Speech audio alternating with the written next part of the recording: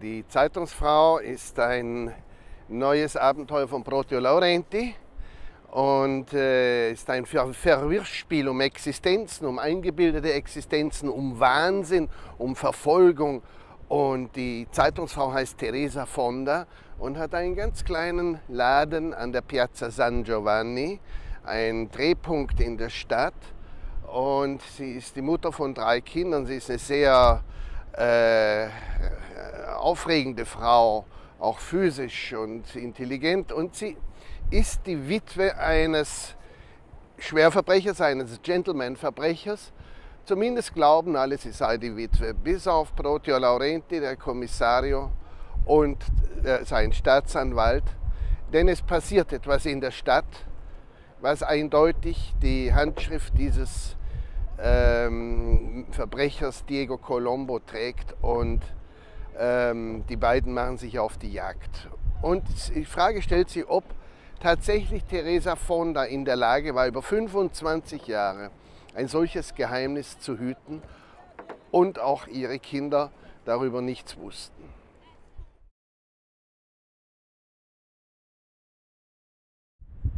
Protio Laurenti ist ein hartnäckiger Ermittler, der allerdings das Faulsein am Meer seiner Arbeit vorzieht. Und es ist, er ist jetzt in den Ferien und wird aufgrund dieser Tat aus den Ferien zurückgeholt. Während die ganze Familie endlich, also auch seine drei Kinder, endlich alle mal äh, zu Hause sind, denn sie studieren außerhalb, sie arbeiten außerhalb, wird er, wird er von der Familie weggeholt. Mit Widerwillen macht er sich auf diese Spur und ähm, wird natürlich immer wieder auch durch seine Familie abgelenkt und äh, seine älteste Tochter lebt mittlerweile in Frankfurt in Deutschland und hat einen Rechtsanwalt, einen ehrgeizigen jungen Wirtschaftsanwalt sich geangelt und der allerdings ein bisschen auch das deutsch-italienische Missverhältnis in sich trägt. Wogegen Protio Laurenti natürlich stänkert, äh, mit mehr oder weniger Erfolg. Und ähm, seine Frau, die bereitet eine große Versteigerung, eine Kunstversteigerung vor, die wird ihm auch helfen. Denn sie ist die Fachfrau für einige ganz wichtige große Bilder, Kunstwerke, die gestohlen wurden im alten Hafen von Triest in einem Freilager. Und dahinter dann äh, tut sich der ganze Abgrund von Geldwäsche, von Schmuggel, von, äh, bis hin zum Mord auf. Und Protio Laurenti und sein Staatsanwalt äh, Scoglio ähm, sind sich zwar einig, dass sie suchen müssen, aber in der Methodik gar nicht.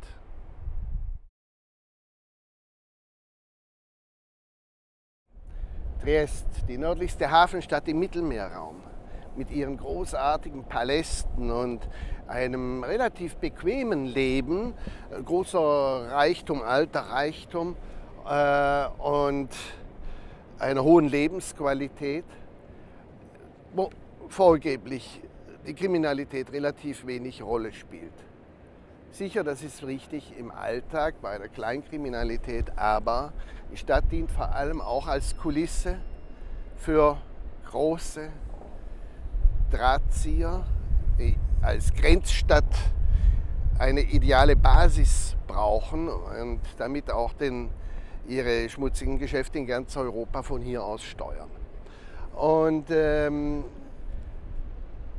es ist eine Stadt, voller Widersprüche. Es ist eine mehrsprachige Stadt. Es ist, gibt keinen anderen Ort in Europa, der über mehr Grenzen, Kontraste und Widersprüche verfügt, aber auch über die Brücken zwischen all diesen. Ähm, über 90 Ethnien haben hier ihre Spuren hinterlassen.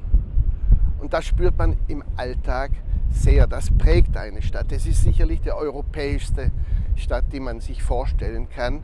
Äh, nicht nur Italiens, sondern auch aufgrund der geopolitischen äh, Position in ganz Europa. Hier kommt alles aufeinander. Meer, Berg, Osten, Westen, Balkan, äh, äh Westen. Ähm, die mediterrane Welt trifft auf die Welt des Nordens. Ähm, alte, riesige Unternehmen wie Generali Versicherung oder die großen Kaffeeröstereien treffen auf eine Universität, äh, auf Forschungseinrichtungen und es gibt die Ränder der Stadt, wo alles nicht ganz so rosig ist. Natürlich verrate ich nichts, aber eine vergnügliche Lektüre, die wünsche ich sehr.